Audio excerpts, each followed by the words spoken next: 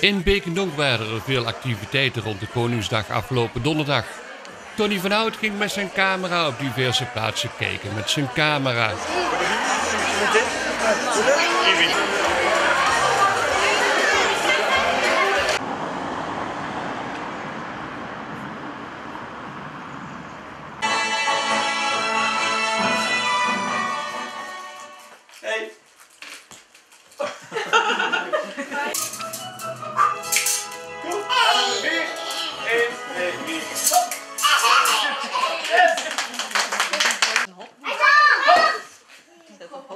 Weet je, hij is echt heet.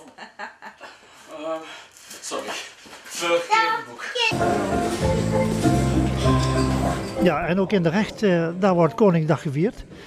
Onder leiding van een band, een muziekband, orkest, of laat het zo zeggen, orkest uit, eh uit Nune.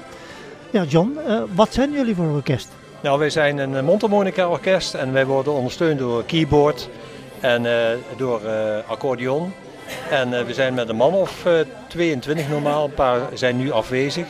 En wij treden op in verzorgingshuizen, verpleeghuizen, maar ook gewoon bij verjaardagsfeesten of andere jubile- jubileumfeesten. En we zijn eigenlijk onder de KBO Nune zijn wij geresorteerd, zal ik maar zeggen. Maar we zijn vrij en blij om overal waar we willen en waar mensen ons willen hebben eh, te komen optreden. Ja.